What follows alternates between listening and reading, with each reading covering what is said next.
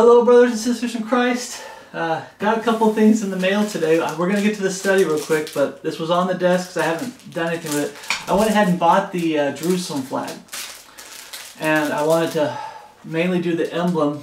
A brother in Christ did a great study on the emblem and how it prophesies Jesus Christ, the lion of the tribe of Judah. And it was a good study. It was a really good study.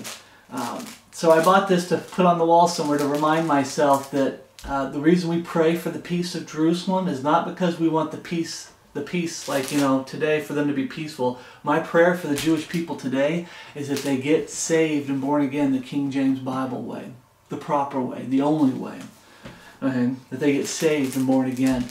But when world peace comes, it's coming to Jerusalem first. Okay, that's where Jesus is coming back and he's starting his rule and his reign. So I remember this. I had this on the desk. Haven't got it out yet.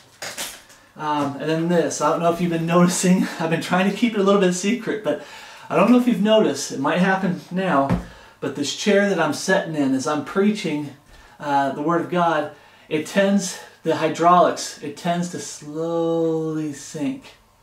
It almost reminds me when I we did our walk and talks on my driveway that goes down a little bit. And we're standing there, not walk and talks, but we stand there and do some of the preaching on the driveway that because of my back, I started shifting left and right. And as I started shifting left and right in one of the videos, I started out back a ways, but I kept stepping forward a little bit as I was shifting to try to ease my back as I was preaching. And I got so close to the video by the time we were done with that preaching. I was really close to the camera. I mean, the video with the camera. Um, but this, you can see in some of the preaching that my head where it's at compared to the banner. And then all of a sudden it gets a little bit lower, a little bit lower, a little bit lower. Sometimes it doesn't, but this chair is sinking, so I had to buy a whole new hydraulic that I got to get put in here in the next couple days. Uh, just came in yesterday. Both of these came in yesterday. Yeah, yesterday. I'm trying to remember if it was yesterday or the day before. But we got those two things. That being said, brothers and sisters, Christ, who's ready for a Bible study? Not a, not a talk show, not a reaction show, but a solid Bible study comparing Scripture with Scripture. Right? If you're ready for a Bible study, you're in the right place because that's what we're going to do today. So get out your King James Bibles and remember you can pause the video and you can turn in the in the video. If I don't turn there myself because I got all the scriptures printed out here, I'm a very slow turner. Some preachers they get up there, they can turn pretty fast. Either that or they hardly use any scripture. But some of them do use a lot of scripture and they just they they're quick turners. Uh, I'm just kind of slow, so to keep the videos from being super, super long, I've just been telling the brethren to pause the video, turn to the scripture I mentioned, and I'm going to be reading it off my notes. But we will be turning to a couple places in the Bible, because we're going to be reading some stories. So today, acknowledge him in all thy ways. We're going to be talking about Moses. What's, what, what started these studies for me, brothers in Christ, to share with you is Proverbs 3 5. Proverbs 3 5. Trust in the Lord with all thine heart, and lean not on thine own understanding. In all thy ways acknowledge him, and he shall direct thy paths. We're going to break this down into two parts. There's two times that Moses really failed the Lord. Uh, the big times, I believe. One had to do with not trusting the Lord with all thine heart, but he was leaning on his own understanding. And the other time, he was not acknowledging the Lord in all his ways. And God even directed him on what to do, but he didn't acknowledge the Lord in all his ways. And we're going to talk about what got in the way of him acknowledging the Lord. Okay? And remember, acknowledge, Webster's 1828 dictionary, to own or notice with particular regard. In other words, to make the Lord in his way the foundation of all your ways. When you're going to the Lord and you're seeking the Lord, you're acknowledging him in everything you do, this is how you acknowledge him. Lord, am I supposed to be doing this? Lord, can I do this? Lord, I say it a lot. If, if, if it be your will, Lord, I'd like to get this done today. Lord, if it be your will, I'd like to get that done today. Lord, please protect me. Lord, what do you think of this? Lord, please, you know, we pray and we ask God for guidance when it comes to opening the scriptures to us. If any of you lack knowledge, let them ask God that give it to all men liberally and brave not, and it shall be given to them. Pray without ceasing. We're supposed to acknowledge Him in everything that we do, brothers in Christ, everything. Um, are you holding anything back? Are you trying to keep something from the Lord? Okay. That's a question I, I did a little on, my channel under I think the comment section. There's no comment section anymore. I forgot what it's called, but there's a little section where you can I can I did a little picture of a graph that shows the average person's life, how much time they spend sleeping, eating, work, this, that, this, and just shows a timeline of all this stuff, and God's not mentioned at all. And I'm like, are you acknowledging Him in all your ways? Are you trying to keep stuff back from the Lord? Okay. Romans 3 4 says, God forbid. Romans 3 4 says, God forbid, yea, let God be true, but every man a liar, as is written, that thou might be justified in thy sayings, and mightst overcome when thou art judged. Let God be true. How do we get our answers most of the time today? Is this right here. When we ask God, is this okay to do? He shows us in the scripture. That's okay, that's not okay. This is what you're supposed to be doing, that's not what you're supposed to be doing. Okay, we acknowledge Him in all our ways, and He will direct our steps, and this is how we do it. Bible studies, learning the Word of God, staying in the Word of God. Are you starting your days with the Word of God and ending your day with the Word of God, brothers and sisters in Christ? Very important. Right? How many times do you get through this Bible every year? It's a good question. I'm not going to answer it for me, and I'm not going to answer it for you. But Brother Chris, ask yourselves, how often do I get through this entire book every every year? How often? Today it's easy. You got Alexander Scourby that reads the Bible for you. You sit down and if you start your days and end your days with the Word of God, it's easy to get through this. In the old days, you just had to read, read, read, read. Okay? And the old days, you had to work harder. Today, give me a second. Today, before I forget, I always do sometimes, so we don't get interrupted again. but uh, today, because of technology and everything, we have a lot of free times on our hands. A lot of free time on our hands. Where are you spending your free time, brothers and Christ? Here? That's where you should start spending a lot of your free time. I understand fathers spending their free times with their children and wives and mothers spending their time with their husband, free time with their husband and their children and everything. I understand that. But praising God. You need to be spending a lot of your free time in this too. Right? This should take priority. But let God be true and every man a liar. Psalms 33 11. The counsel of the Lord standeth forever, the thoughts of his heart to all generations. Acknowledge him in all thy ways, and he shall direct thy steps. Trust the Lord with all thine heart, and lean not on their own understanding. So what gets in the way of acknowledging the Lord in all your ways? That's what this whole study is about, these series of studies. We're going to go through men, great men of God and find out where they failed God and find out that they didn't either trust the Lord with all their heart or they didn't acknowledge him in all their ways. Something got in the way, and we're going to be talking about that. We'll be continuing a series of studies showing great men in the Bible and where they failed to acknowledge the Lord and what got in the way of doing it. Remember 2 Timothy, uh, 2 Timothy 3.16 all scripture is given by inspiration of God and is profitable for doctrine, for reproof, for correction, for instruction in righteousness, that the man of God may be perfect, duly furnished unto all good works. We're using this for, we're going to the Old Testament for instruction in righteousness, and if you're failing God the same way, it's a correction for you to get your heart right with the Lord. Right. I got this hat on, it got in the way a little bit. I'm dressed like this, brothers and Christ, because I open my windows at night. That's my AC. I open my windows at night it cools down the house, and then I close them during the day, and it's ice cold first thing in the morning in, in, in the house. So I got all this on because it's actually cold in the house. Okay. But we're going to be doing this for instruction in righteousness. And Romans 15 4 says, For whatsoever things were written aforetime were written for our learning. We can learn from mistakes in the past. The people, when brethren make mistakes, I say brethren, but saints of the Old Testament, great men of God in the Old Testament, when lost people in the Old Testament make mistakes, you know, we can learn from the Old Testament that through the patience and comfort of the Scriptures might have hope.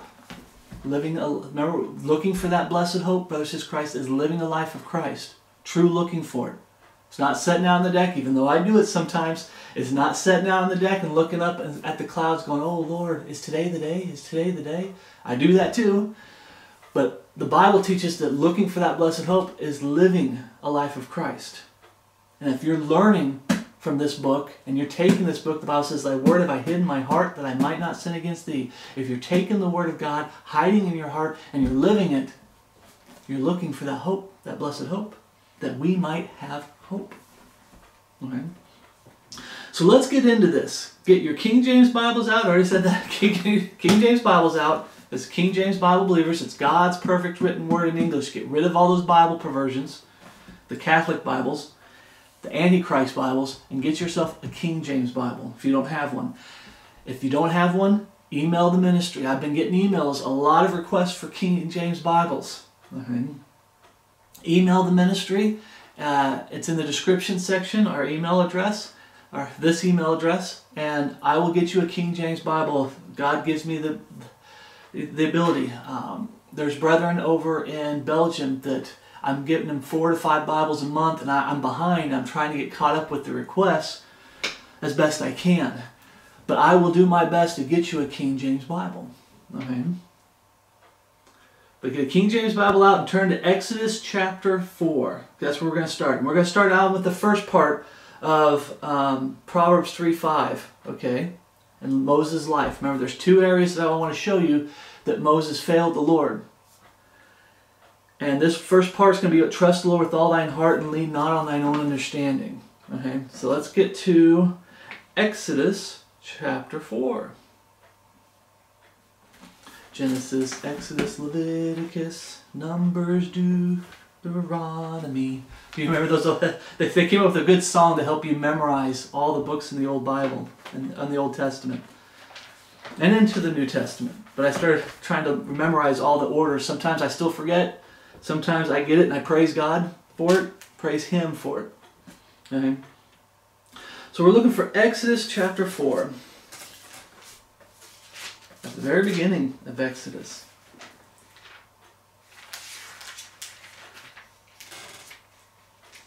Now you have Moses. He fled from Pharaoh. He he came out of Egypt. You know, he's he's got a wife and everything, and he goes up and he he he sees uh, a cave. He goes up there. He sees a burning, a bush that's burning. And he's going in and he's talking with the Lord, okay? And the Lord's going to be giving him a command, okay? He's acknowledging the Lord. And the Lord's directing him, saying, This is what I want you to do. But something gets in the way of him trusting the Lord. So let's read this. And Moses answered and said, But behold, they will not believe me. Because Jesus, I believe it's Jesus in the bush, God in the bush, is telling him, You need to go to Israel, not Israel, Egypt, and you need to, you know, preach what I tell you to preach to get my people out of Egypt. And he's talking about the, the, the Jewish leaders, the elders, and everything. They won't listen to him. And Moses answered and said, But behold, they will not believe me, nor hearken unto my voice. For they will say, The Lord hath not appeared unto thee. And the Lord said unto him, What is in thy that in thine hand? And he said, A rod.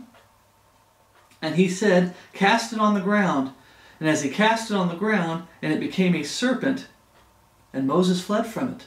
And the Lord said unto Moses, Put forth thine hand, and take it by the tail. And he put forth his hand, and caught it, and it became a rod in his hand. Now remember, Jews require a sign. Greeks seek after wisdom. Okay? To the Jewish people, speaking isn't enough, they require a sign. Signs and wonders. That became in his hand, that they may believe that the Lord God of their, of their fathers, the God of Abraham, the God of Isaac, and the God of Jacob, hath appeared unto thee. And the Lord said furthermore unto him, Put now thine hand into thy bosom. And he put his hand into into his bosom, and when he took it out, behold, his hand was leprous as snow. And he said, Put thine hand into thy bosom again.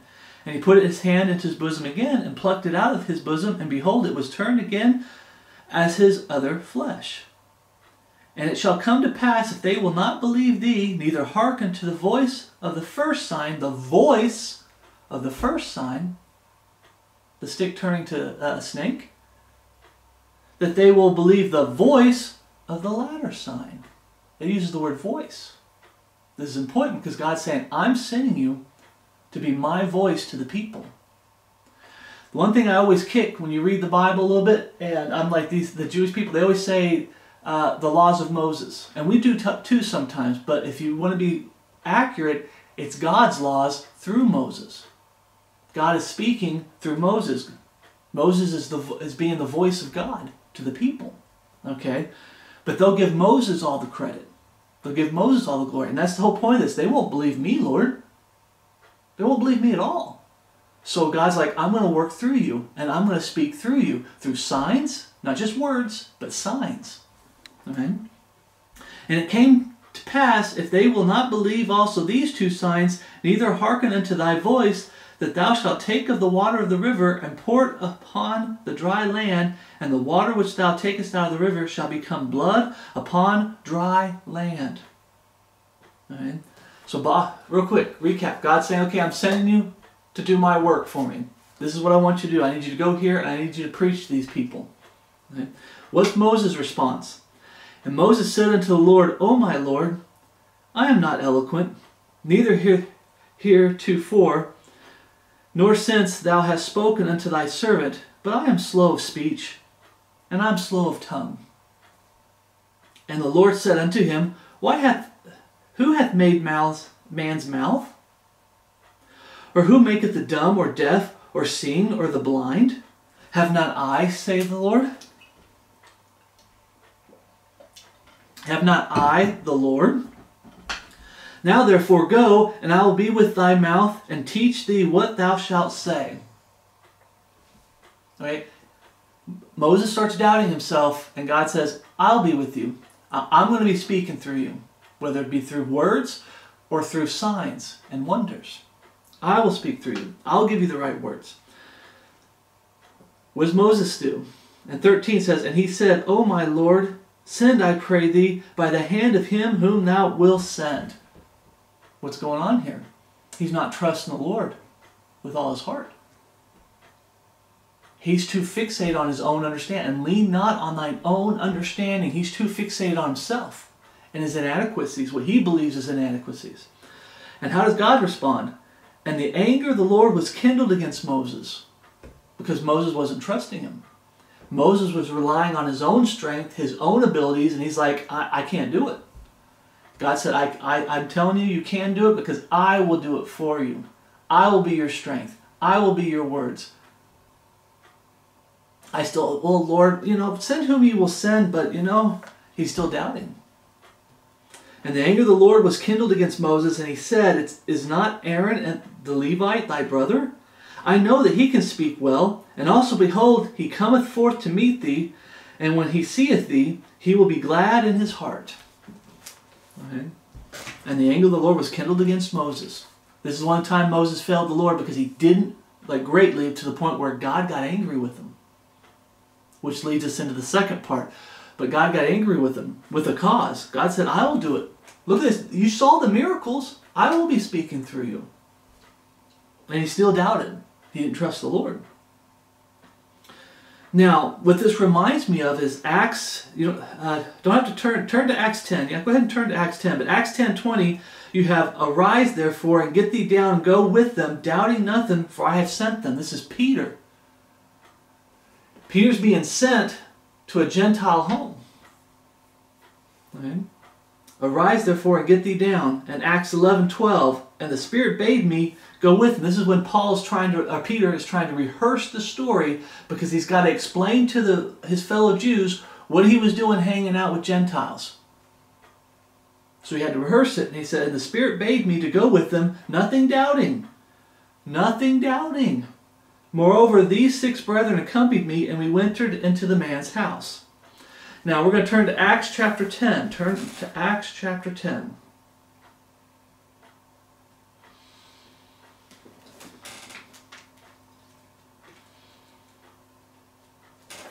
Acts chapter 10. Okay, you have Cornelius, okay, a centurion of the band called the Italian band had a vision to send for Peter, and he was a Gentile. And the whole thing is they're not supposed to hang out with Gentiles, fellowship with Gentiles. Okay. And remember, Jews are not to fellowship with Gentiles. hang out with them, fellowship with them, talk with them. You know, they can do business dealings, transactions, and stuff like that, but they're not supposed to be like hanging out with them, fellowshipping with them. Now, Acts 10, go to verse 9. I'm going to start in verse 9. On the morrow, as they went on their journey, drew nigh unto the city, Peter went up upon the housetop to pray about the sixth hour. And he became very hungry and would have eaten, but while they were re- while they made ready, he fell into a trance and saw heaven open, and a certain vessel descended unto him, as it had, pardon me, as it had been a great sheet knit at four corners, let down to the earth, wherein were all matters of four-footed beasts of the earth, and wild beasts, and creeping things, and fowls of the air. And there came a voice to him, Rise, Peter, kill and eat. But Peter said, Not so, Lord, for I have never eaten anything that is common or unclean. And the voice spake unto him again the second time, What God hath cleansed, that call not thou common. This was done thrice, and the vessels was received up again into heaven. This is God showing Peter that hey, salvation's gone out to the world. It's the time we're going into the time of the Gentiles. Salvation is going out to the world. That salvation is no longer just of the Jews. But what's Peter's response? Now, while Peter doubted in himself what this vision which he had seen would mean, he's like, I don't get it. I don't get it. Behold, the men which were sent from Cornelius had made inquiry for Simon's house and stood before the gate, and called and asked whether Simon, which was surnamed Peter, were lodged there. While Peter thought on the vision, the Spirit said unto him, Behold, three men seek thee. Arise therefore, go thee down, and go with them, doubting nothing. Remember, he was doubting to where this would go. God sets him straight. Doubting nothing, for I have sent them. Then Peter went down to the men which were sent to him from Cornelius, and said, Behold, I am I am he whom ye seek. What is the cause wherefore ye are come? And then they tell the story about Cornelius having the vision, uh, having the vision, the angel telling him, "Go seek Peter." Peter going to him. All right. Now remember Proverbs three five: Trust the Lord with all thine heart and lean not on thine own understanding. Now Peter in this story, Peter trusted the Lord, and if you keep reading, he went. He didn't give a fuss. He didn't put up a fight. And you got to understand how serious this was. You have Moses trying to go deal with the Jewish people. He fled from his, uh, Egypt and, and his people, and he fled out. Right? Here you have Peter. He, he was preaching the gospel to the Jewish people. The, I believe primarily he starts out with the gospel of the kingdom of heaven, and then it slowly transfers over to the gospel that we have today that's revealed to, to Paul. But when it, he got told, "Hey, you got to go preach to those Jew to those Gentiles," uh oh, this is a serious thing. I'm not supposed to be caught with the with Gentiles, hanging out with Gentiles. Okay, remember, but God, I remember you saying salvation is only of the Jews, and the Gospels, and God's trying to show them, nope. Now salvation's going out to the world. It's a big issue.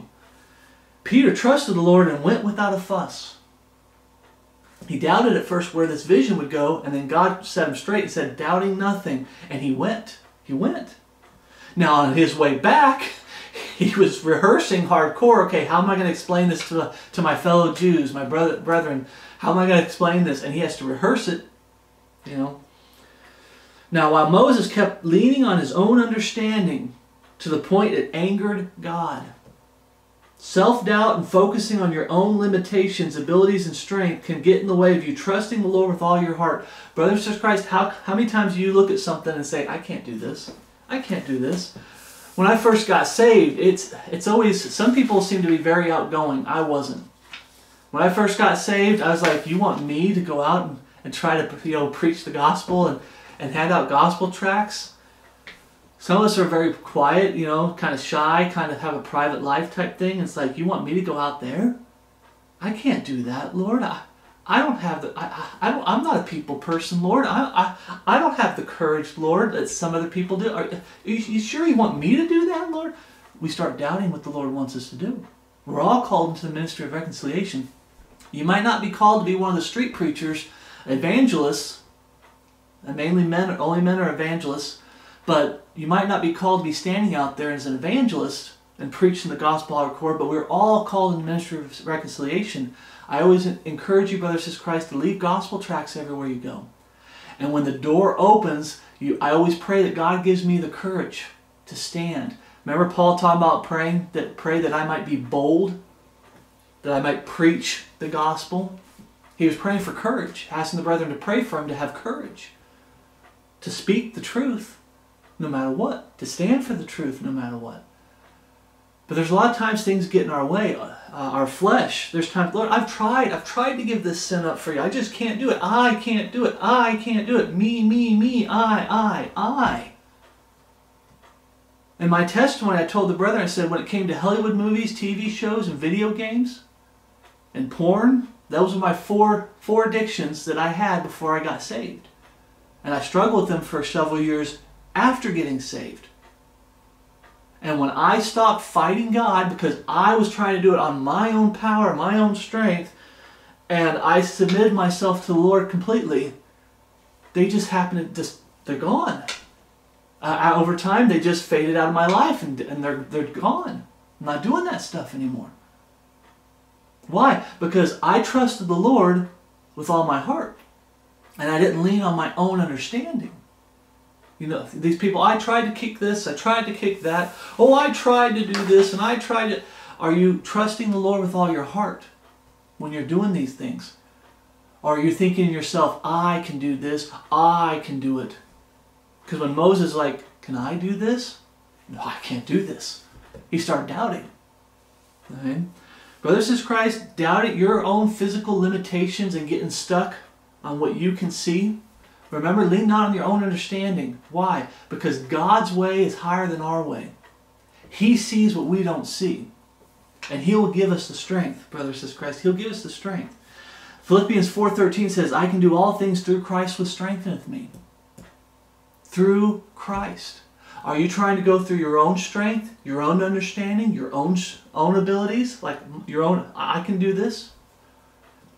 How many times do we tell God when we desperately need God's help, we say, "Lord, we need your help. I need your help with this." And God starts helping us with it, and when things seem to be going easy, we're like, "Okay, God, okay, God, I got this. Okay, it's great. I got this. I got this." And then we fall flat on our face again. Someone said once it was like children. When you're teaching a child how to do something, when you first start teaching them, they need to set the, stand there or sit there and be quiet. They need to listen and they need to watch what you're doing. And the first thing the child does when you're trying to fix a toy or you're trying to do something for them, the first thing they do when they see you do the first step, they come in their head, oh, I can do this, and they try to take over. And you got to tell them, nope, you're to sit there and you're to watch me do this completely from step one to the last step. Okay, now do you got it? Okay, now it's your turn to do it. But their first thing is they want to jump in there and do it right then and there and take over, take over, take over. Oh, that's easy. That looks easy. I can do it. I can do it. We need to be patient. I can do all things through Christ that strengtheneth me. We need to make sure we're going through Jesus Christ first and foremost. Okay. Hebrews 11, 6 says, But without faith it is impossible to please him. For he that cometh to God must believe that he is, and that he is a rewarder of them that diligently seek him. Moses was doubting. He was looking within himself, I can't do this. He wasn't looking to God saying, Lord, give me the strength to do this. Lord, if you say I can do this, I can do this. Remember we just got uh, the, the study before, we were talking about um, Joshua when it came to the, the walls of Jericho. He's like, listen, people, if God says we can do this, we can do this. Oh, by the way, God, how do we do this? Right? It's trusting the Lord. When God told Moses, you can do this, and I'm sending you, I have chosen you, and you're going to go do this, and you can do this, Moses kept doubting him to the point it angered the Lord. When God calls you to do something for Him and to live for Him, He will give you the strength and the means to do it, brother, says Christ. You know what gets in the way? Doubt. A lot of things. The flesh, the world, Satan, the three enemies. But so one of the things that can really get in our way is our flesh can try to get us to doubt whether we can do it or not. The world comes in and tries to get you to doubt whether you're capable of doing it or should be doing it. Whether it's the ministry of reconciliation, getting sin out of your life, sanctification, standing for the Word of God, helping brethren out. You know, Satan comes in, tries to, you know, get you to doubt yourself. When God calls us to salvation, He'll give us a book. He gives us the Holy Spirit to open this book to us, and He'll give us the strength to live a life of Christ, to be in Christ Jesus our Lord. If you feel like you're getting called into ministry, men getting called into ministry, God will give you the strength to do it. Okay? He'll, he'll give you the means to do it.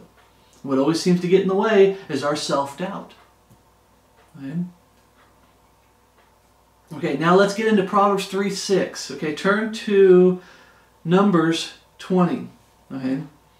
Turn to Numbers 20, but we're going to get into Proverbs 3 6. In all thy ways acknowledge him, and he shall direct thy paths in Moses. The first mistake I believe he made is he didn't trust the Lord with all his heart when it came to God calling him to preach to his, his brethren in Egypt.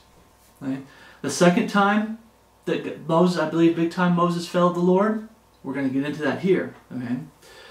But as you're turning to Exodus chapter 20, okay, Exodus 7.16, here's the first time. Exodus 17.16, Behold, I will stand before thee there upon the rock in Horeb.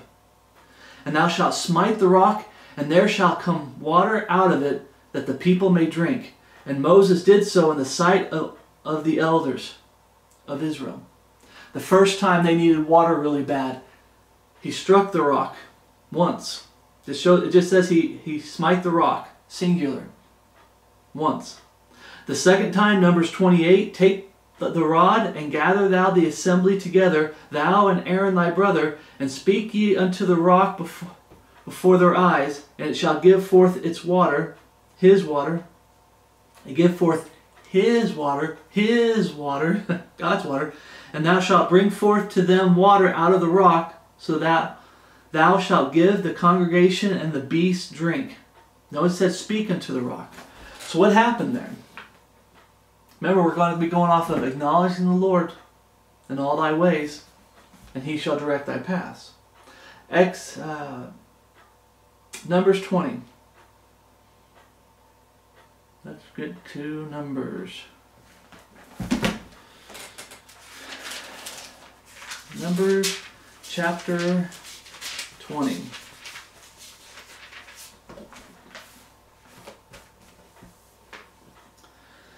We're going to be reading 1 through 13. Then came the children of Israel, even the whole congregation, to the desert of Zin in the first month, and the people abode in Kadesh. And Miriam died there and was buried there. And there was no water for the congregation, and they gathered themselves together against Moses and against Aaron. Now, I might be getting ahead of myself a little bit, but if you read through the Bible, you'll see that Moses is getting so angry and frustrated with the people.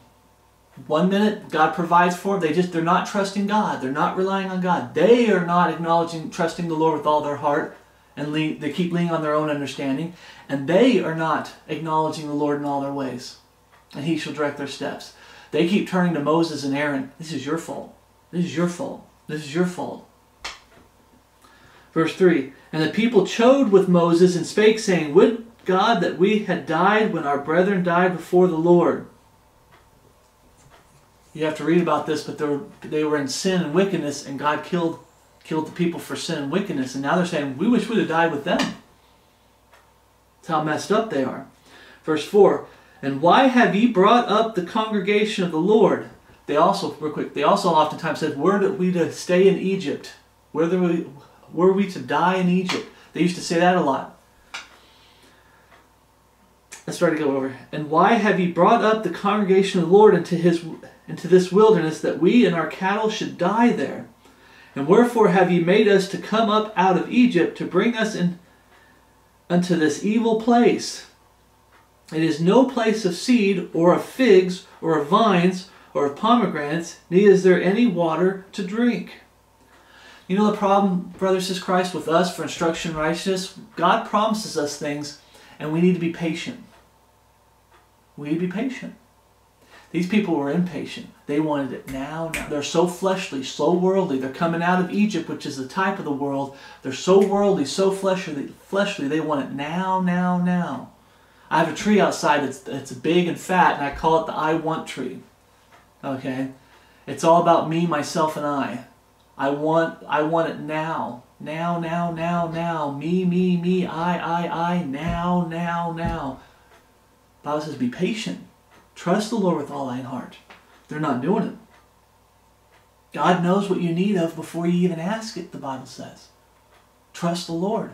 By all means, in prayer, make supplication. Say, Lord, we need help. We need water. But they didn't do that.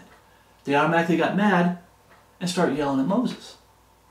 And Moses and Aaron went from the presence of the assembly unto the door of the tabernacle of the congregation. They fell upon their faces, and the glory of the Lord appeared unto them. And the Lord spake unto Moses, saying, Take the rod, and gather thou the assembly together, thou and Aaron thy brother, and speak ye unto the rock before their eyes. Speak. First time he hit it, first time, second time he's supposed to speak to the rock. Before their eyes. And it shall give forth his water, and thou shalt bring forth to them water out of the rock, so thou shalt give the congregation and their beasts drink. And Moses took the rod from, from before the Lord as he commanded him. See, he's, he's starting to do it right as he commanded him. And Moses and Aaron gathered the congregation together before the rock, and he said unto them, Hear now, ye rebels, must we fetch you water out of this rock? Question mark.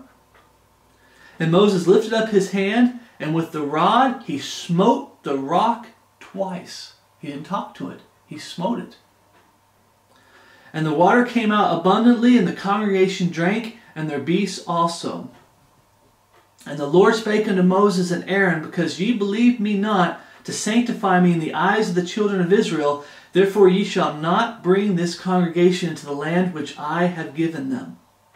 This is the water of Meribah, because the children of Israel strove with the Lord, and he was sanctified in them. Remember, Moses and Aaron were chosen of the Lord. So even though those people were yelling at trying to blame Moses and Aaron, they were really striving against the Lord. You got to be careful with that. Okay? God will choose men to preach the word and to teach the word, and they make mistakes. I make mistakes. But be careful. Most of the people that really fight me and attack me, they're not attacking me, they're attacking God. I'm just his I'm just his messenger. I'm here just to preach the word of God and preach truth. Do I make mistakes sometimes? Yes. But I'm talking about the ones that vehemently attack me. They think they're just attacking me. No, they're attacking the Word of God. Okay? When I line up with the Word of God, they're attacking the Word of God. When I make mistakes, they, they, they what do you call it? They pounce. They wait for you to make a mistake, and boy, do they pounce. and they really love pouncing. Okay? But you see here, what got in the way of Moses acknowledging the Lord in all his ways? Anger. Today people say, well, because you see pre- preachers preach out of anger and everything. It's like a lot of times when I've heard preachers when they get they can get a little angry. I've said this before. You can raise your voice. You can be stern. You can really give it to them. But you don't lose your anger, like get lose control because you're losing your anger's taken over. Your anger is now in charge. And the people that preach like that, or discipline like that, they, they mess up. They do it wrong. They go too far. Okay? Now in Exodus, you don't have to turn here, but in Exodus 32 10, you have Moses, he's up 40 days and 40 nights in the mountain. The Lord telling him how to build the tabernacle, telling him how to uh, making the uh, stone tablet with the Ten Commandments on it. So, and then the Jewish people, they start worshiping a false god. Aaron, they throw, Aaron says, I just threw in some gold and out popped this calf. And they start worshiping false gods. And you see that Exodus 32 10 says, Now therefore let me alone, that my wrath may wax hot against them, that I may consume them. And I will make of thee a great nation. And you keep reading, and Moses is like, Oh Lord, come on, you can't, please don't do this, Lord. What will the, the world say? Did you just bring these people out of Egypt just to destroy them? Please, Lord. And he, he's trying to plead for the people. But when you get to Exodus 32 19, when Moses actually goes down and he, because God already saw, remember, God sees all. Why are we to trust the Lord with all our heart and lean not on our own understanding? One of the biggest things is, is God sees everything. God knows all. God saw what they were doing. That's why his wrath waxed hot against them. When Moses walks down, what's his reaction? Exodus 32 19. And it came to pass as soon as he came nigh into the camp that he saw the calf and the dancing, and Moses' anger waxed hot. And he cast the tables out of his hands and brake them beneath the mount. Brothers in Christ, sometimes you can get angry with a cause and stay focused on the Word of God and you can preach the truth. You can raise your voice a little bit. You can point at people try to convince, get conviction, get them under conviction. But what happens when you lose your temper? Lose it. Remember, it just says his, Moses' anger is waxed hot. It waxed hot. He was angry. I don't have this in my notes, but remember Paul with the Corinthians. He said, I hope when I come to you, I wouldn't find you as I would, because he's hearing about this fornication. It's such fornication that one would have his own father's wife. I think that I said right. Right? They're in wicked, wicked sin, just like right here with Moses, these people worshiping a, a golden calf. They're in great sin, but Paul's saying, I hope I would not find you as I would, and when I come to you, I hope that I wouldn't be as I am. Because right now, when he's not there, he's losing, he's angry. He's very angry. To the point of losing it. How could you do this? This is wickedness. This is sin. And he teaches that when you fornicate, all sins that's done is done without the body, but when you fornicate, you sin against your own body. Remember, your body's supposed to be a temple for the Holy Ghost and be without blemish? You sin against your own body. This is serious. And he was angry. And he was saying, I hope I don't come there. Why? Because Paul taught us, I'm getting ahead of myself, but he taught us how we're supposed to correct people how we're supposed to preach to people. You don't lose your temper. Uh, Psalms. Pause the video, turn to Psalms 106, 32. Let's actually turn there because this is important. People say, well, that's not really what happened with Moses here when it came to the rock. You know, he wasn't that he lost his temper. He just, you know, he just did it his way. Uh, Psalms 106, 32.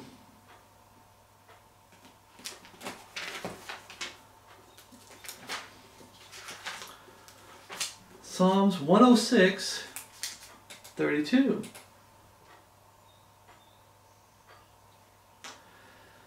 Because make sure right. They angered him also at the waters of strife. Who's the they? The, the Jewish people.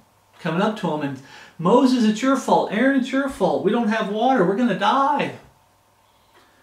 They angered him also at the waters of strife, so that it went ill with Moses for their sake because they provoked his spirit. We read, read up there in Exodus 32, Moses' anger waxed hot when the people would, would sin against God, when people would, would complain and whine. Moses got frustrated with them. Oh, how long must I suffer these people? Jesus had the same attitude. When he came to, he, he always say that. How long must I suffer you? Bring him here. Remember the man that, that they, they couldn't cast out the uh, devils?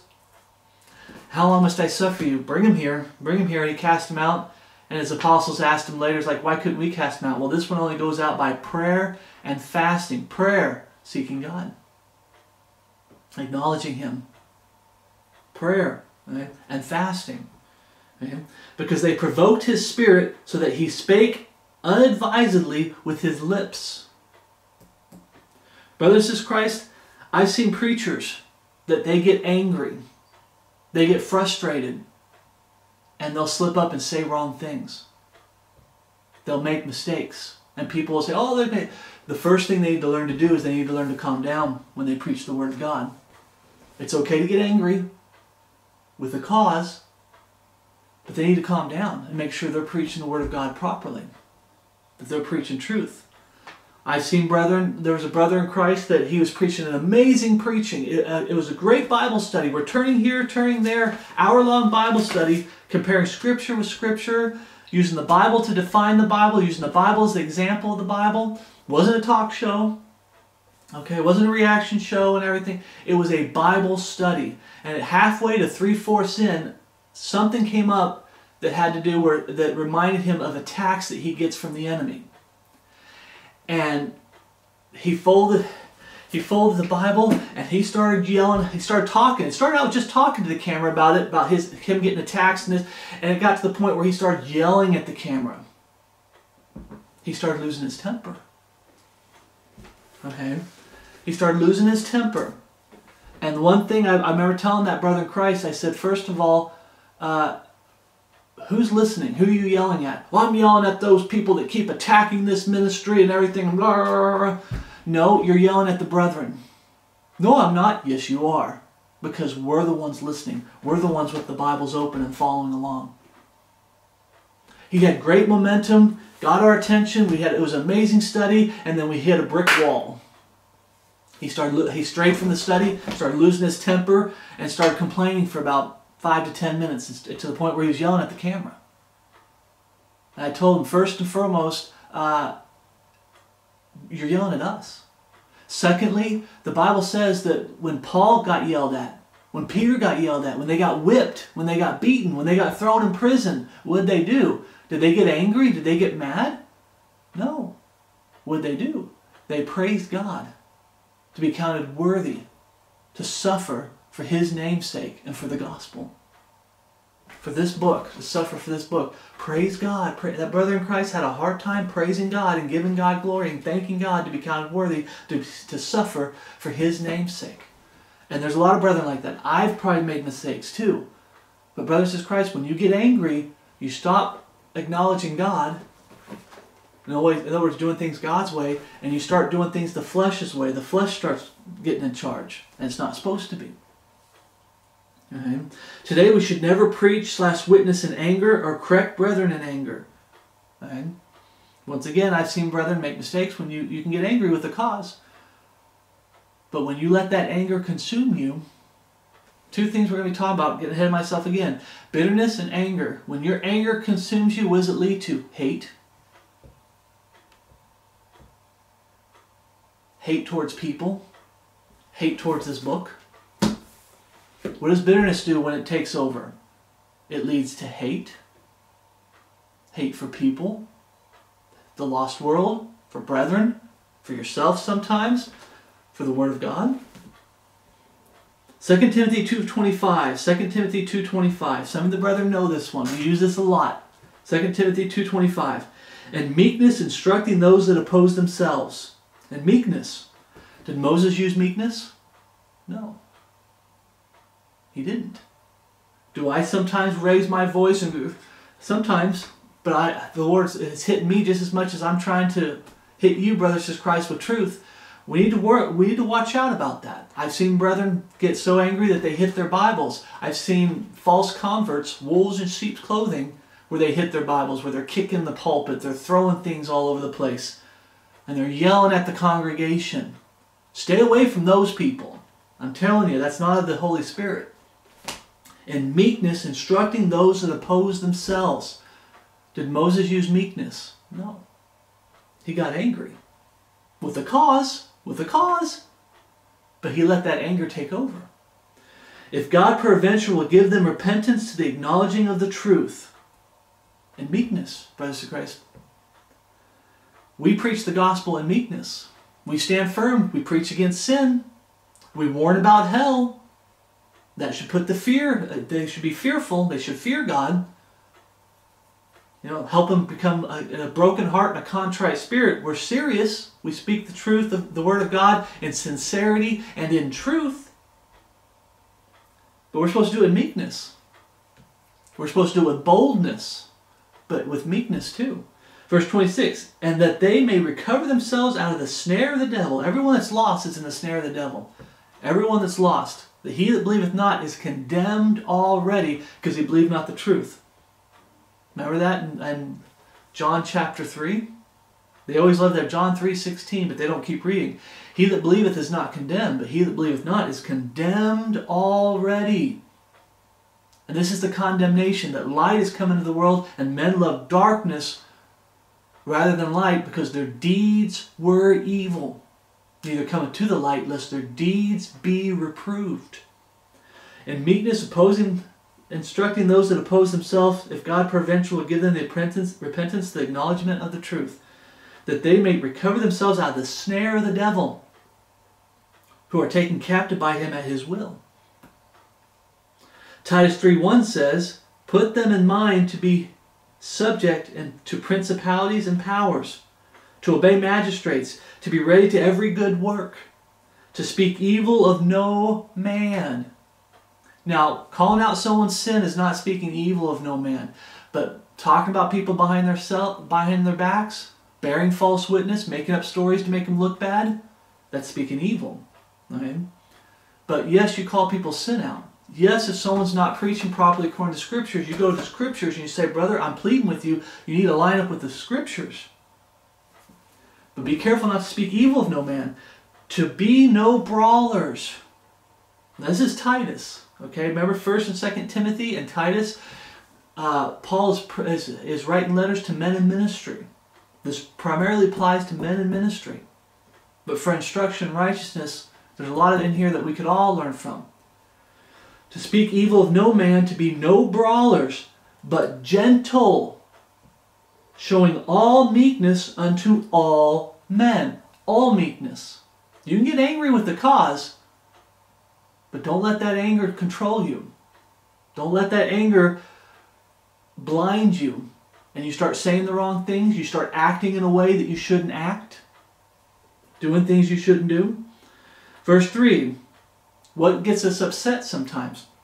For we ourselves also were sometimes foolish. And it's got, we're going to keep reading, but stop. When I see sin and wickedness in brethren that I struggled with, that I failed the Lord time and time with, I get angry. And sometimes your anger is not at them, your anger is at yourself. You know the number one person I get angry with?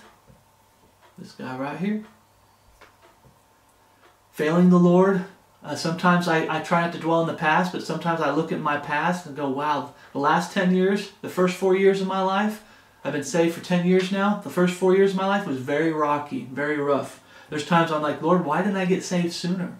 And I start thinking of my lost life as a professing Christian, and I start getting angry at this man right here.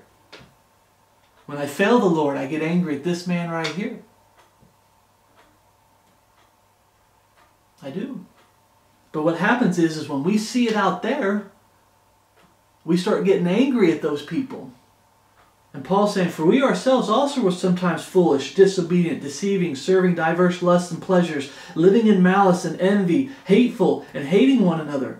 But after that which after that, the kindness of God, the love of God, our Savior, towards man appeared. God saved us, He can save them.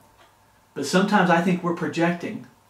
When we see sins that we struggled with, are probably still struggling with. You could be a babe in Christ and still struggling with the same sin, and you want to get mad at them. But the number one person you should be mad at is this: is, your, is me, myself, and I. The self entity, as I always say, the self entity, me, myself, and I. Okay? That's who you should be mad at first. Okay? Verse 5 Not by works of righteousness which we have done, but according to his mercy, he saved us. He saved me, he can save them. If you're lost and watching this, he it's like easy believism, you know, and you you reject the true plan of salvation, repentance towards God, faith in our Lord Jesus Christ, confess both in prayer and ask God to save you. After God saves you, He gives you a new life, a new birth, new creature in Christ Jesus, the new man, new woman. Then He can save you still. It's not too late. He saved me. I was a false convert, part of easy believism. And then God showed me the truth of the, uh, the Bible version issue, and then He showed me the true plan of salvation. And I grabbed onto it, and I haven't let go of it since, praise God. To God be the glory. Not because of my strength, to God be the glory. But according to His mercy, He saved us by the washing regeneration and renewing of. Doesn't want page doesn't want to turn. And renewing of the Holy Ghost, which He shed on us abundantly through Jesus Christ our Savior. It goes back to reminding you did God save you despite your wickedness and your sin and your filth? Yeah, yeah, He did. Then you need to plead with them and meekness, instructing those that oppose themselves. Okay? Which he shed abundantly through Jesus Christ our Lord, that being justified by his grace, we should be made heirs according to the hope of eternal life. Romans, remember, be not brawlers, but gentle, showing all meekness unto all men. Okay? And meekness instructing those that oppose themselves. Romans 10:15, and how shall they preach except they be sent? As it is written, how beautiful are the feet of them that preach the gospel of peace and bring glad tidings of good things. When you go to preach to some, whether you're correcting a brother in Christ, whether you're preaching the gospel, you're correcting a brother in Christ when it comes to doctrine, when it comes to instruction in righteousness, sanctification, when it comes to preaching, when you're correcting someone on sin, you're supposed to do it with the heart felt that this is a good thing. What I'm doing is a good thing. I desire to see you get your heart right with the Lord. I desire to see you get back on the right, you know, the right path. I want to see you get saved and born again. But lately, when brethren go to correct one another, it seems to be done out of hate and bitterness, and a bitterness and anger that turns into hate for your brother and sister in Christ. Some people do it because they want to see their brother, like they do it online to bring it. To, they want everybody to see because they're trying, they're hoping and praying for the destruction of who it is they're witnessing to. If they're witnessing to someone's lost, are they correcting a brother in Christ? They're saying it in a way that they want to see that person be destroyed. Their heart's not in the right place. When I correct a brother in Christ, it's to see them get back up. I want to see them built back up. They're, they're broken, they're fallen. I want to see the Lord pick them back up. I want to see them get back up on their feet. I want to see them get right with the Lord. And there's brethren that have corrected me with that same heartfelt, and I have been wrong sometimes. And had to take the correction so I can get back up on my feet and be standing for what's right. The Word of God. Okay. Ephesians 6.15, and your feet shod with the preparation of the gospel of peace. Not anger, not wrath, Right? Peace. Remember we uh, in one of the old studies we talked about the word friend. The word friend doesn't mean we're best buds. Okay, that we're really close. The old Bible and the in the Old Testament, there's two types of friends. There's the friend in Psalms, I think, or Proverbs, but there's a friend that's closer than a brother. And then there's the guy that you come across somebody um, and there's a stranger coming this way and you're walking and you look up and to keep from upsetting that stranger you say whoa friend whoa friend friend meaning i'm not your enemy the opposite of an enemy there's friend that's the opposite of an enemy and then there's a friend that's closer than, a brother sometimes today we call them best friends i had best two best friends in high school growing up we did everything together hanging out and doing all getting in trouble together we, we did everything together right, you have best friends and then there's the friend, I'm not your enemy friend. Okay? We're supposed to be a friend when it comes to we're not your enemy. I'm not your enemy. I'm here to preach peace. I'm here to teach you to tell you the truth about your condition and that it's not too late. I know what the cure is. I have the cure. Okay? We're supposed to be at peace, not anger. What did Moses do? He lost his temper. And if you keep reading, he got in trouble for it. It cost him. 1 Peter 3.15 1 Peter 3.15 But sanctify the Lord God in your hearts, and be ready always to give an answer to every man that asketh you a reason of the hope that is in you with meekness and fear. The hope that is in you, that blessed hope. I know where I'm going when I die. Do you know where you're going when you die? I got magnets on my truck that says if you were to die today, it's either today or tonight, would you be, I think it's tonight, if you were to die tonight, would you be in heaven or in hell? I know where I'm going. I have that blessed hope. I'm looking for Jesus Christ.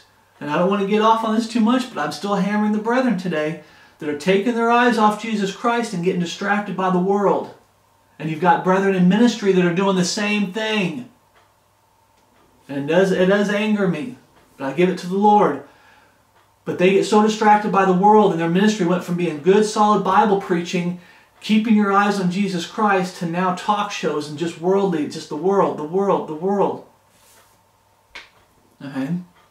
We have a hope in us, that blessed hope, the day of Christ.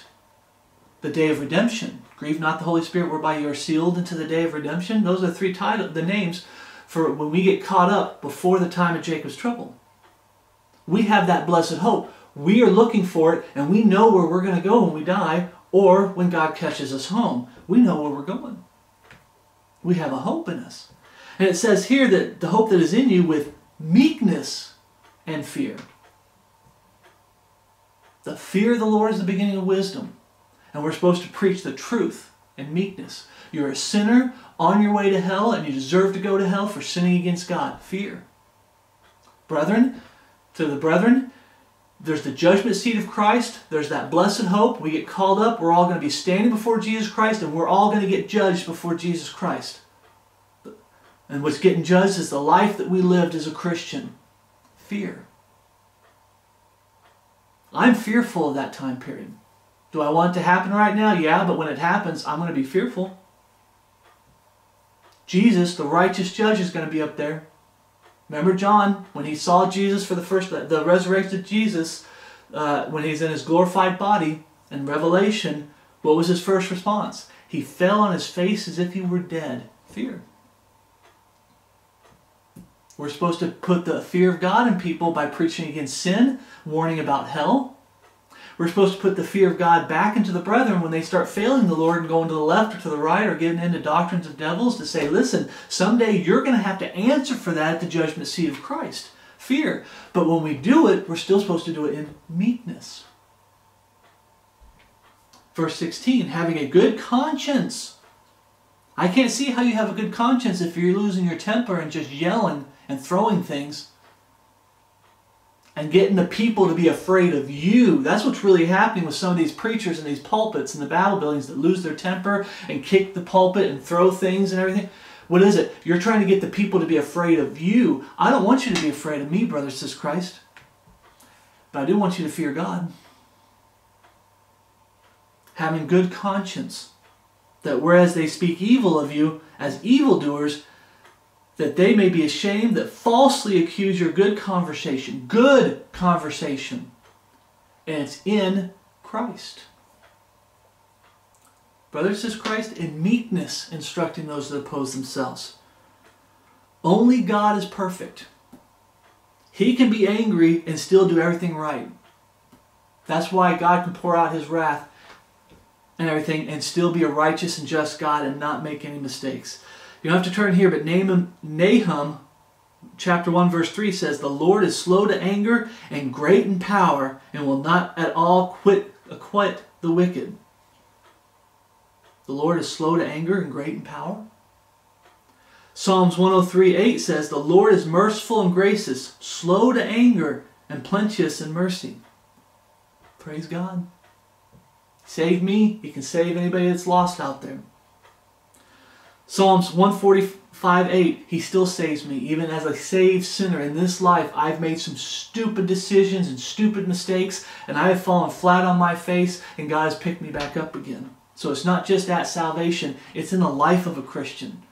God is still showing, has so, is so merciful and gracious and plenteous in His mercy. Psalms 145 8, The Lord is gracious and full of compassion, slow to anger, and of a great mercy. Now, here's the thing I'm not God, you're not God. Only God can do it right. But here's a question Are we supposed to be like God? Remember, Jesus said, Be holy, for I am holy? Can I be perfect? No. But am I supposed to strive to do what's right and not sin against God? Absolutely. Am I supposed to strive with all my heart to do things God's way? Absolutely. Do I fail? Absolutely. That's the sad part. I'm not saying that with any pride or fervor. Absolutely. I failed the Lord many times. But Proverbs 15 18 says, A wrathful man stirreth up strife. Someone who loses their temper. Especially someone who loses their temper a lot. A wrathful man stirreth up strife, but he that is slow to anger appeaseth strife. We also need to be slow to anger. It's not always easy. Some brethren really struggle with it. Some brethren don't have a hard time struggling with it. But we also are supposed to be slow to anger. Now, brethren, you can get angry at yourself. You can get angry. There's times I go outside and I get angry at myself, and boy, do I just preach to the hillside and I talk to the Lord and I'm complaining about this guy right here. There's times I go out there and I start preaching to the hillside in prayer and I talk to the Lord and I quote scriptures from memory that, that the Lord blesses me with. And or I'm reading the Bible and I come across the part where I believe the brethren as a whole, I'm failing it, I get mad at me. The brethren as a whole are failing the Lord, I get mad at the brethren as a whole. I've said this before. The, the condition of the body of Christ today is, is bad. We're not doing things God's way today. House churches, bishops, deacons, ordained elders. Okay, like, like what we're talking about here, instructing those in meekness, instructing those that oppose themselves. People are starting to get too uh, familiar, if you know what the word familiar means with YouTube. They're starting to become YouTubers. I hope I never become a YouTuber where it becomes about views and clicks, people like subscribing to your channel and, and how many views you get. You get to talking about what's popular in the world. You start doing drama talk shows, reaction shows, drama fest, you become a YouTuber. I hope I never become a YouTuber. Right now I'm using this platform because it's, it's one of the doors that are open for preaching the truth. But I hope I never become a YouTuber. But I'll sit out there and I get mad with the brethren. There's times I get mad at the world, brothers of Christ, how vexing it is I'm telling I went in to get groceries yesterday and I don't know how many times that I had to try to look straight or look down at the at the, the wheels of the cart and everything because the wickedness and sin that's going on in this world is just it's so abundant. And the old man that was a professing Christian, that was a false convert, he had no problem with all this stuff.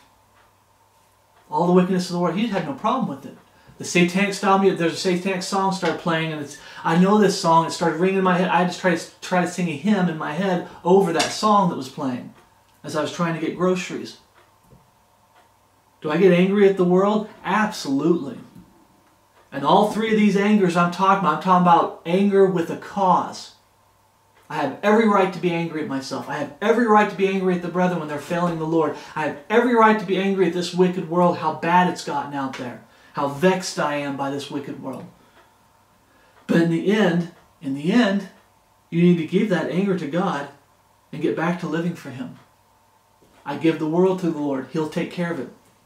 That's why I warn brethren, when you, if you're following a ministry that's so preoccupied with the world, the world, the world, you might need to take a break from that ministry for a while and get back into this, the Word of God. Okay?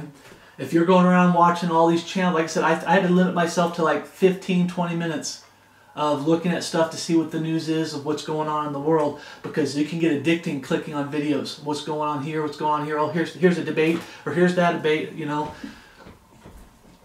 you can get addicted to those things. Okay, but in the end, I gave the world to the Lord. He'll take care of the world. Brethren, I do my best to correct you through Bible studies. I, I to point you to this as the solution to all your problems. And in the end, if you choose the flesh, the world, Satan's way of doing things, I give you, I get mad and frustrated because I've seen brethren fall away that I love and care about. But in the end, I got to give you to the Lord and say, you know what, Lord? He's yours. We're, we're, I'm in your hands. He's in your hands. You'll deal with him just as you deal with me.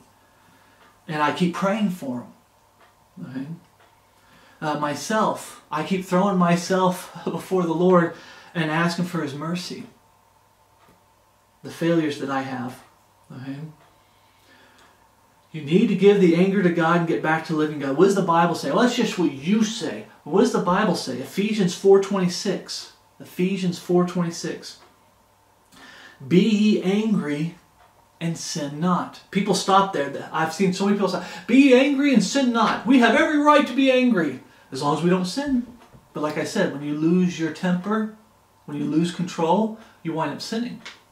Because you say something that ain't right, doesn't line up with this, or you do something that ain't right. right? But they say we can be angry and sin not. Yes, the Bible says you can uh, be angry with the cause. But what's the last half of that verse that people always ignore? Let not the sun go down upon your wrath. You know what that means, brothers of Christ? By the end of the day, you need to either get, if you're angry with, with yourself, get your heart right with God by the end of the day. Repent. Remember, uh, deny yourself. If any man come after me, they must deny themselves, repentance, pick up their cross daily, turning from that sin, the actual physical work of cleaning up that sin, that wrong, take up your cross daily, and then you get back to following the Lord. So if you're mad at yourself, by the end of the day, you need to get your heart right with the Lord. So at the end of the day, that anger's gone. You're back to praising God and thanking Him for His mercy, and you're back on the right path. If you're angry at the brethren, you need to go to them if it's possible to go to them and correct them with love and meekness, instructing those that oppose themselves to get them on the right path. If they get on the right path, praise God, the anger is gone by the end of the day. Let's say they don't get on the right path. What do you do? You take it to God in prayer and you give your anger to God and you give that person to God. You don't let the sun go down on your wrath. You don't remain angry for days on end and weeks on end. You give it to the Lord. When it comes to the wicked world, I sit there and talk with the Lord all the time and get angry about this world. But I give it to the Lord and said, you know what, Lord? I'm sorry. I'm not trusting you in all in all my ways. Or I'm not tr- trusting you with all my heart. I'm leaning on my own understanding and I'm looking at everything that's going on, and I may I might be getting fearful, I might be getting doubtful of what the Lord's doing. Well, why are you doing this, Lord? Why are you allowing? this? I need to give it to God. When I get angry at this world, I talk with the Lord. We get into the Scriptures, and I give it to the Lord, and I get into the Scriptures. Same thing with the brethren. If I have a problem with the brother in Christ, and there's nothing I can do to fix it, I've tried preaching truth, and they just don't want to listen to me. They don't want to listen to the Word of God. I give them to the Lord and I get back into the Word of God. And God takes the anger from me. It says here, uh, let not the sun go down on your wrath. In other words, by the end of the day, you need to give that anger to the Lord. Because if you hold on to that anger, it's going to fester. It's going to grow until the point it's like a volcano and it's going to be out of control. Same thing with bitterness. They seem to go hand in hand, anger and bitterness. When anger starts getting out of control, you realize you start getting bitter. Bitter towards brethren, bitter towards, the lost world. And God forbid you ever start getting bitter towards the Word of God. Titus 1 7 says, For a bishop must be blameless, as the stewards of God, not self willed, not soon angry not given to wine, no striker, not given to filthy lucre. And it keeps going. Not self willed. Not my will, but thy will, O Lord. If thou will it, Lord, can I do this today? If it's okay with you, O Lord, can I do that today? Because I always try to plan things, to stay busy, because uh, you ever hear that saying, the idle, what is it they say? Um, idle hands are the devil's playground. If you're idle and just sitting around doing nothing, uh, that's when Satan really tries to go after you. You need to stay busy doing good work, staying in the Word of God, doing good work with your hands that please God. Stay busy. So I'm always asking God, can we do this, Lord? Can we do that, Lord? Stay busy with them, but not self willed. Some brethren in ministry, they start getting to the attitude, I'm doing my way. It's my way. And then they start handling the Word of God deceitfully or wrestling the Scriptures to their own destruction, trying to make it out to be, well, my will's God's will. We're the same. I'm lining up with God. No, you're not. You're trying to do things your way. You're not supposed to be self-willed. A man that's in ministry, it's all about God and His Word and doing things God's way, not His way. But the main part for this study, not soon angry. Not soon angry. This, this, this gets pushed so much in the Bible. Don't be soon to be angry. Slow to anger. And when you do get angry with the cause, get it worked out. And in the end, if, it, if you can't, give it to the Lord. Like I said, repent, forsake, get back to the Lord, and you're not angry at yourself anymore. You're praising God for His great mercy and forgiveness. The Bible says God is faithful. If we confess our sins, God is faithful to forgive us of our sins and cleanse us from all unrighteousness. Get it worked out. You're angry at, the, uh, at a brother in Christ, if it's possible, one on one. If it's the brethren as a whole, I try to do Bible studies to try to get your eyes back on Jesus Christ, get you back to, into this, hiding it in your heart and living it, to being a living witness and a verbal witness. We do Bible studies. And in the end, I give it, I give you guys to the Lord, and I say, Lord, I give that anger to the Lord, that frustration to the Lord. If there's so much as a little bit of bitterness, I don't want bitterness at all to, to, towards myself, towards the brethren, towards the world. Because bitterness definitely leads to hate. When bitterness is there and it's left unchecked, it turns to hate. And you start hating yourself, not sin, not wickedness. I'm talking about you start hating yourself and you start getting into a rut where it's all about how do I say this? Like you're getting to a sorrowful rut where it's just I'm just worthless. I'm this. I'm this. I'm this, and you don't get amount too much for the Lord. You got to get out of that rut. Okay. You're not supposed to hate your brothers and sisters in Christ. The Bible says time and time again you're supposed to love your brothers and sisters in Christ. And we're not to hate the lost world. We're to preach the truth to them. That's true love for the lost world. We preach the truth to them. We come to them with the the, uh, the, the peace, the gospel of peace, the feet shod with the preparation of peace, in meekness, instructing those that oppose themselves. We want to see them get out of the snare of the devil and get into the hands of God. Remember Jesus talking about him and God the Father being one and the same? No man can take him out of my Father's hand. No man can take him out of my hand. I and my Father are one. We want to see him get put in God's hands and taken out of the snare of the devil that are taken captive by him at his will. Okay? Now, we're going to end this. We, I did a study. We did a study together, Brothers of Christ, and I'm going to try to link them. And I'm going to try to figure out how to put the video. There's ways to link the videos at the end where they pop up. And there's ways to, I know how to link them in the description channel. I can link them again in the actual comment section channel. But we did a, study together, brethren, about three years ago on holding on to anger. I lost fellowship with the brother in Christ up in, in Canada it, months of doing weekly Bible studies together. I'd call, uh, Skype him, and we would talk anytime, like any day. We'd Skype. It's, there was no specific time we could talk. We could talk anytime, and we talked a lot, and we fellowshiped a lot. He was, a, he was to me, he was a friend that was closer than a brother. He was a brother in Christ, but one day he just was very angry. He was very angry. And he got he kept trying to start a fight with me. He kept trying to find a fault with me. He kept trying to find get me to make a mistake or something. And it just he just was very angry. And when I finally did make a mistake, he used it as justification to blow up on me, and he broke fellowship with me, and I haven't heard from that brother since. And that, that was the motivation but to do that video on holding on to anger. There are brethren that just, they thrive on anger. Just, they want to be angry. Just to be angry. I miss that brother in Christ. I still pray for that brother in Christ. Okay? So I did this study, so please go watch it, brothers in Christ. If you haven't watched it, hold on to anger. We're not supposed to hold on to it. In the end, we give it to God. We're not supposed to live and thrive off of anger. And we go more in depth than what we did here in the study. We also did a two-part series together on dangers of bitterness my mentor started getting very bitter. The one who taught, led me to Christ, taught me the Bible version issue, taught me the true plan of salvation, taught me how to read the Bible, how to study the Bible, taught me the major doctrines, taught me instruction righteousness. He started getting very bitter, and it started to show.